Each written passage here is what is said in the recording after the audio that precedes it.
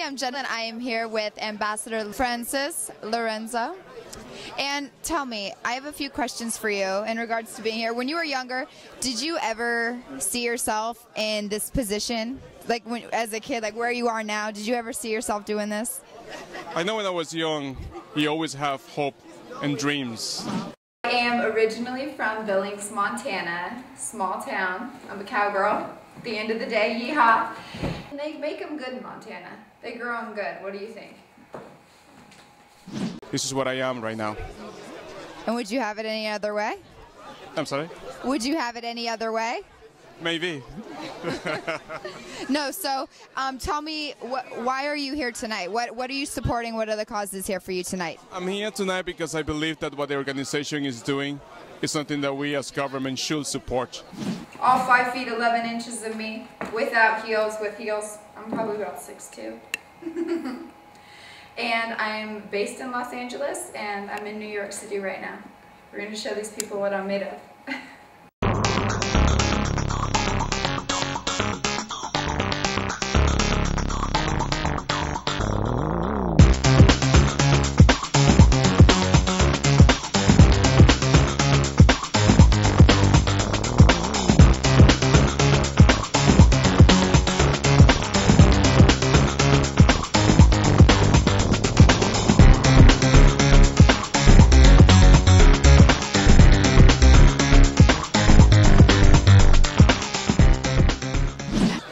How important is information communication technology in the development? How, in your opinion, what do you think about that? It's uh, very important when we talk about developments. So we all agree education is extremely important. You can train me any day. you can train me too. You're beautiful. can you please tell me about the meeting last week that you had with the fight against um, poverty in Turkey? Excuse me. Uh, Istanbul, Istanbul. It's called uh, the LDC, least developing country. Well, that's wonderful. Thank you very much, Ambassador.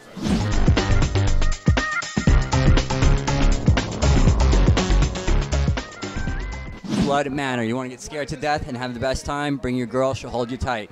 And who are you, beautiful? Jenna, I'm ready to be held tight.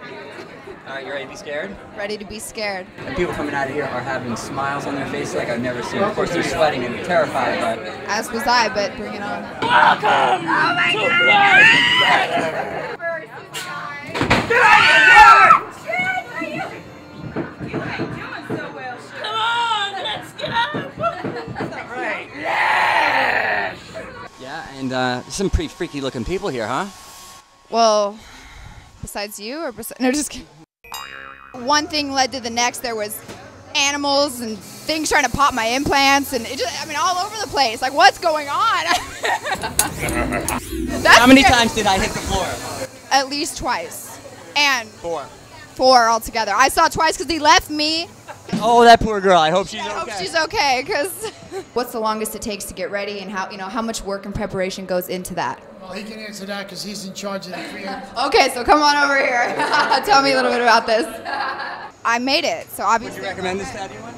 everyone and anyone. If you want to be scared, you need to do this. Yeah.